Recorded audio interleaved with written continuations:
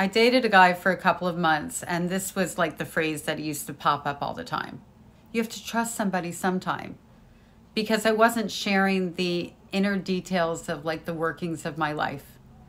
I'm not talking about the things that I share here on TikTok about my mother or the advocacy work or my backstory. I have a current life and I have things that go on in my current life that belong to me that are personal that I may lean on very close friends for, but that's about it.